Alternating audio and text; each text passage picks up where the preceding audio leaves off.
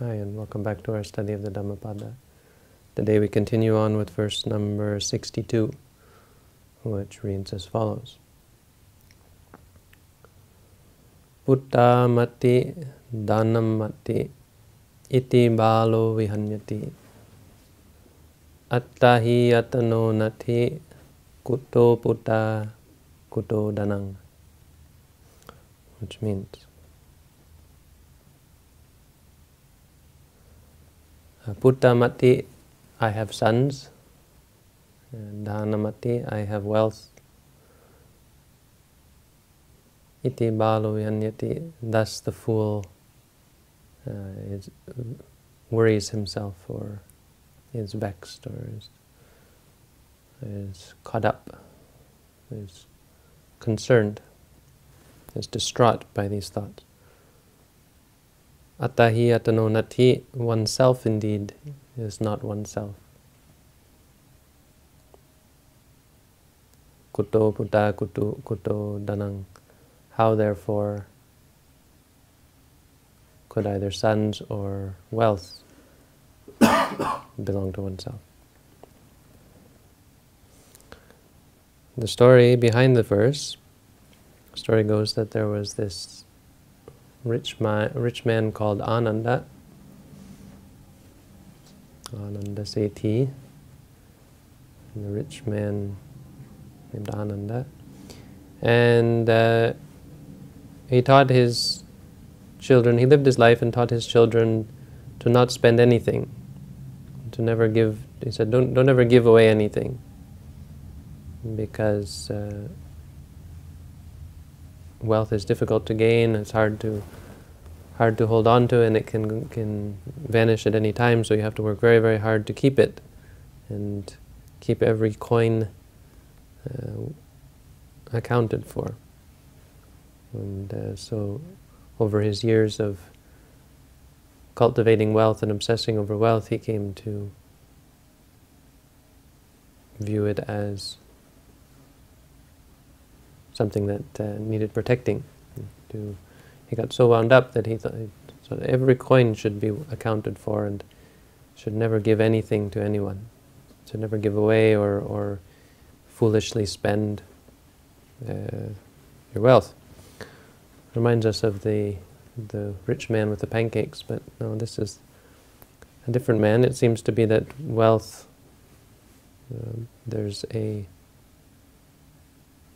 Uh, there's a common theme in the Pali Canon of rich richness often leading to miserliness, which of course you see in real in modern modern day as well. But though there are some examples of rich people who are very generous and kind, there are many rich people who can only think about how they can amass more wealth. They can get more and more. So, so the Buddha said, for this reason, uh, even, a, even if it were to rain gold, you would never get, never get enough for even one person. So this is the story of Ananda, and not much of a story because he passed away and left his fortune to his son. And the story is actually about his reincarnation. When he was reborn, he was reborn as an outcast in a village of, it says, around a thousand outcast uh, beggars or or or, or uh, um, well poor uh, unemployed uh, outcasts who were unable, of course, to get any but the worst of jobs and had to live either off begging or off off slavery and slave labor, etc. Now, from the moment that he was conceived in his mother's womb, the entire village was unable to uh, to, to get anything, to, to make even the slightest bit of money or, or food. They, were, they weren't able to beg, they weren't able to work. From the moment that he was conceived, it, he cursed the whole village. And so the story, so the story goes. Some kind of group karma at work, I guess. And so uh, they split the village. They, they got together and they said something must something must be wrong here. Someone must be causing this. And so they split the village in half. and uh, had them go in, go in separate locations and, and go begging or go working or whatever. And they found that one half was able to get um, to, to get by fine as per normal. The other group still was, as it were, cursed. And so they cut that group in half, and then cut you know, the, the, the other group, group in half, and in half again until they got down to two families, and they split them up, and they found that this woman with this pregnant woman was the cause of all the problems. So they kicked them out and sent them on their way. And then he was then he when he was born, his parents felt found the same thing that if they went on alms alone or if they went out working or whatever alone, then they could get money just fine and they they could get by as as as well as could be expected. But if he was with them, they would all get nothing. So they kicked him out as well and gave him a little piece of maybe a, a piece of pot or something and said, "Go, you must." Uh, you must bear for yourself. They kept him around until he was like seven years old, and then they sent him off. You must go by yourself. Uh, the other thing is he was very, very ugly, so he kind of looked like an ogre. And this is the horrible uh, repercussions of being such a miser. And one day he was he was wandering around trying to get whatever alms he could, which of course wasn't much. He wandered wandered back to his old home, and he saw this house and he recognized it, and so he just walked right in. And he started looking around the house, not quite sure why he was there, but looked, seeing that it looked very familiar and kind of like home. And so he was walking around, and he went into one room, and there were the, his grandchildren, his son's sons, and uh, they freaked out and they called out and they said, Monster, there's a monster in here. And the servants came over and beat him and threw him out uh, just as the Buddha was walking by. And so the Buddha's walking by going on alms round and he sees this young beggar beaten to a pulp, or beaten quite quite severely, lying on the side of the road. Not to a pulp, he's still alive. He beats him up, he's beaten up, and the, the Buddha looks at him and then he looks at Ananda, who is our Ananda, not the, the rich Ananda, walking beside him. He turns to look at Ananda. And Ananda knows to take this as a, as a um, instigation to, to, to, uh, to ask a question. So he asks, he asks the Buddha, what, what's the story of this guy, Reverend Sir? And the Buddha said he used to be the, the, the, great rich man Ananda, and this was his house, and this is where he lived. And Ananda, so Ananda called the rich man's son, and uh, the Buddha explained to him, this is this was your father. And he said, I don't believe it. Looks at him, and he's this ugly outcast. And he said, how can he go from a rich man to a, a beggar? And the Buddha had him go in the house and find out all his find all his treasures and the kid was able to actually remember where everything was, and so he proved it. And then the Buddha taught this verse. So, simple story. And uh, the, the point here is to remind us not to be negligent. It's a simple lesson. When we think of material possessions, all of those things, not just putta and dana, our sons and our wealth, but, but everything. We look at all of our belongings, all, all of our um, enjoyments in the material realm, thinking of them as, as me, as mine, as somehow controllable. So we either hold on to them as ours to enjoy, or we hold on to as ours to control, or ours to own, or ours to dwell in.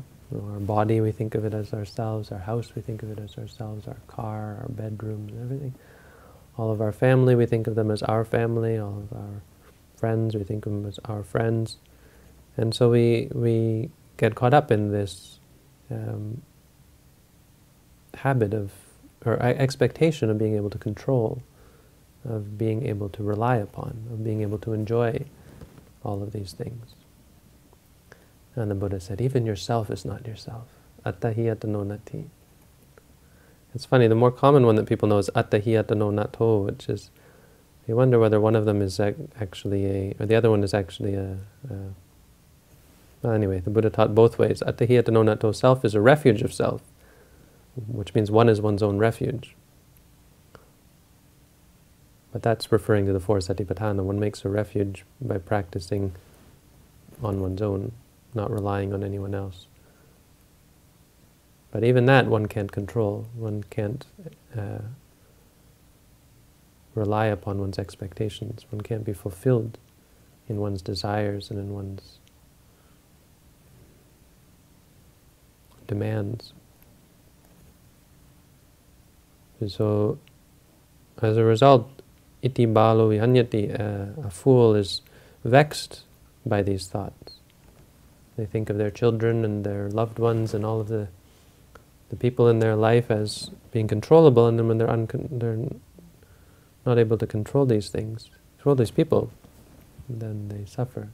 They're vexed. They're worried all the time, worried about how they might be, and trying to figure out ways to control people, ways to control their family, ways to control their friends, ways to control their employers, their employees, their co-workers, and so on and so on.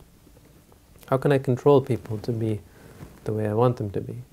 And the same goes with our dana, our, our possessions, our wealth, all of our belongings, guarding our houses, guarding our valuables, guarding our possessions, guarding our enjoyments, even guarding our own bodies, being, care being careful to make sure that we can always enjoy the pleasure that we enjoy now. But none of this can be controlled, and when it isn't, when it is out of our control, we, we're vexed by it. Especially foolish people who, who really believe that these things are going to make them happy. People who believe in the world bringing happiness wind up being vexed quite often. And uh, because of their lack of wisdom, they're not able to see this. And so as a result, they constantly vexed because they do it again and again and again.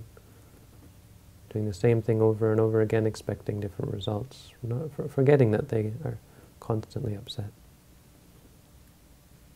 So the Buddha reminds us, even ourselves is not, even ourself is not ourselves. What this means is we can't even control ourselves. We can make choices, we can have intentions, but we can't really control it. We can't say I'm going to be happy all the time or I'm going to be calm all the time. We can't say that we're never going to feel pain or we're not going to get angry or we're not going to get upset. We can't say this. Even about our own minds, even about our own being.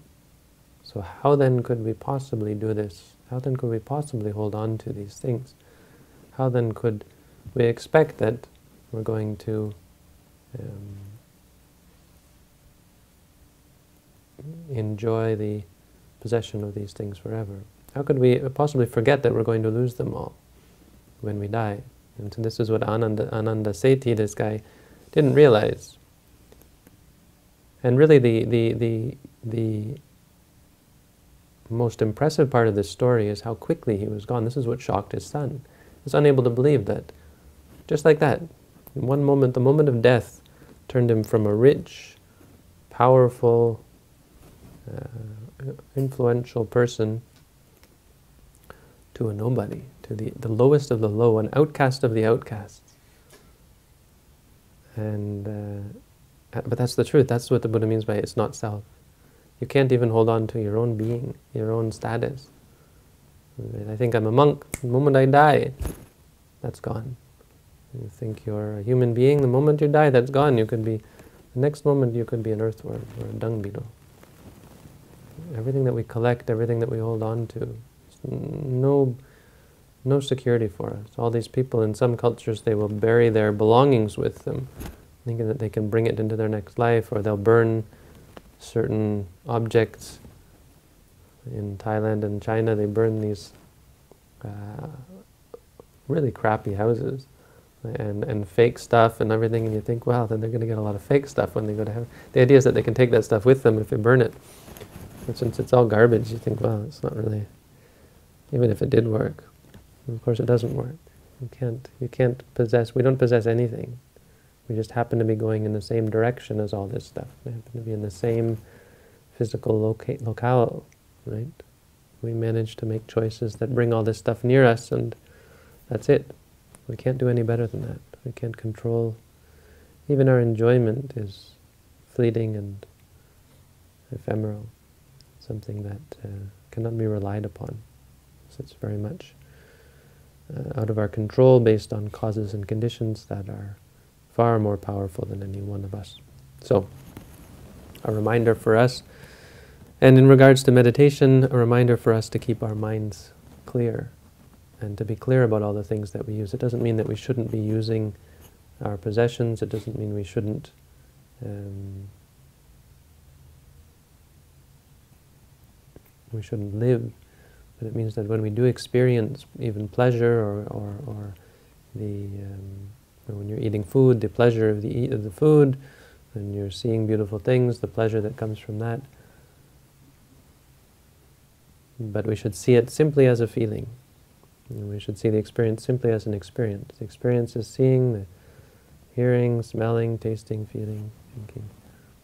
And see liking as liking, see disliking as disliking.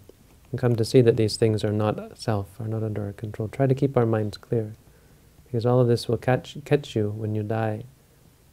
And if you have great wanting, so someone who is very, very rich because they've they're clinging so much, what goes with them is the clinging, and that's why you're born very, very poor. If you were very, very, that's why rich people are very quick to be born very poor because they have so much greed and attachment, and it's that want that goes with you. So you're born wanting. You're born in a constant state of want. Amassing wealth doesn't make you wealthy. Being generous and kind and uh, having a mind of surplus. When you think you have surplus, when you're content with what you have, then you'll always be content. You'll never know the words nati. When you want something, you'll never be discontent. You'll never know discontent because your mind is content.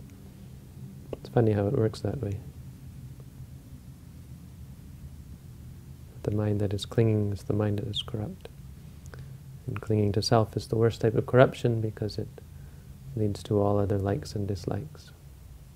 So we have to keep our minds clear. This is why meditation is important. When we live our lives, however you live your lives, to keep your minds clear and to not cling to self either in regards to your own self or in regards to the things that you enjoy. So a nice lesson from the Dhammapada and from our friend, the former Ananda Sethi. Hope he managed to find his way out of that mess.